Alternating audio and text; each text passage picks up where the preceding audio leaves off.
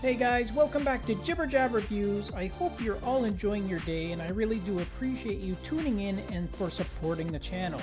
Now for the review today, I have another watch face to give away and from a new developer of the show called JW Studio. Now this particular watch face is for all the Galaxy Watch 4 users out there as you'll be able to download this one directly from the Google Play Store. However, I only have 20 codes to give away so if you want to add this one to your collections for free, then make sure you grab one right after our review. Alright guys, this one is an all analog version which comes in this diver style design. It comes packed with lots of useful health and activity information and you also get some great theme customizations which I'm going to show you how to change in just a minute.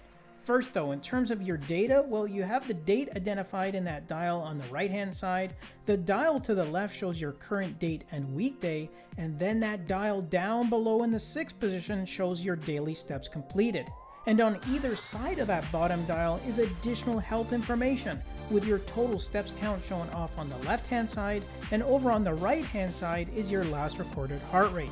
Your battery power remaining is actually shown as a unique indicator in that it's that yellow arrow and as it depletes it's going to move in a counterclockwise direction. There's actually some small yellow markers along that bezel that indicate the increments of power you have left.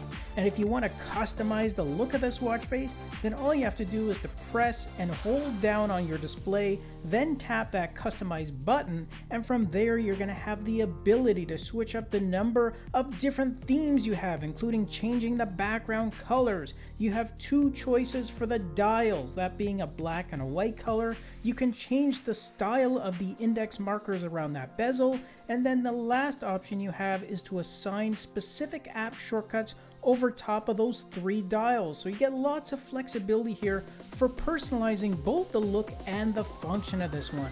And lastly, for shortcuts, you get those three customizable areas that I showed you, as well as an additional three launchers that are fixed to your settings, steps, and heart rate apps.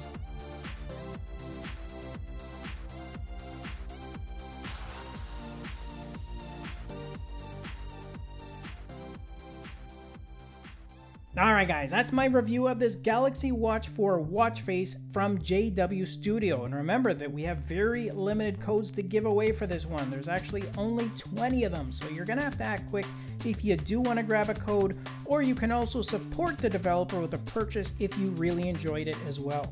Thanks again for tuning in and for supporting the channel, and remember to smash that like and subscribe button before you leave. I'll see you all in our next review. Until then, take care.